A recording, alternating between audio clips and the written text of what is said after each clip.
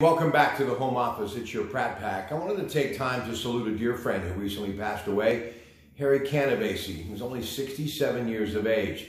But what a life he led. And he also helped others lead a life of fiscal responsibility. Many of you may remember him from that brand Advest, where he spent the majority of his life investing money. Many of the people that know him and are watching this on Facebook, I'm sure thank him every day for what he was able to do for them and how they're able to live comfortably and enjoy the golden years. Yeah, retirement.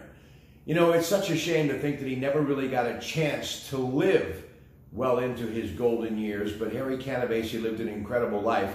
I don't know of anybody who was more willing to get out in the community and help. I mean, he absolutely loved helping people, and he was always the first one to step up and say, What can I do? And you know, for years he had his own radio show. This guy was just beloved by so many.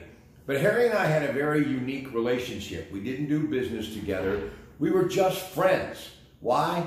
Well, just because I guess it was fate.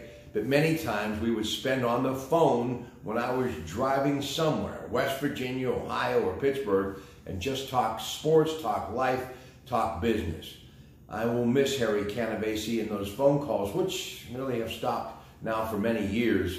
But I think of him often, and every single time I drive through Beaver and I look to either my left or right, depending on which direction I'm headed, and I see that building that he made home for many years, I think of Harry Canavesi. So my thoughts and prayers go out to his family, and know this hey, just like his opinion in finance, you could bank on his word to be there in your time of need.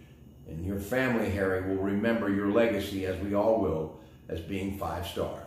Ladies and gentlemen, have a great day and keep Harry Canavesi and his family in your thoughts and prayers. From your Pratte Pack here in the home office in Monaca. Have a great day.